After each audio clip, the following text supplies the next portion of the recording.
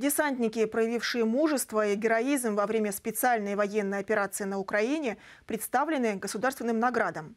Ордена мужества вместе с командующим воздушно-десантными войсками России генерал-полковником Андреем Сердюковым им вручил губернатор Вячеслав Гладков.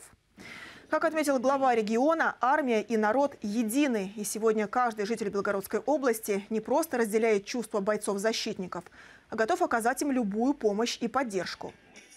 Я обращаюсь к военнослужащим, которые стоят в этом строю. И это переживание, я надеюсь, вы чувствуете все. Мы всегда рядом. То, что зависит от нас, мы всегда делали и будем делать. Эти награды завоеваны в бою. Я вас благодарю всех за службу. За ваш подвиг, настоящий подвиг. Вы действительно являетесь гордостью воздушно-десантных войск нашей, наших вооруженных сил, нашей страны.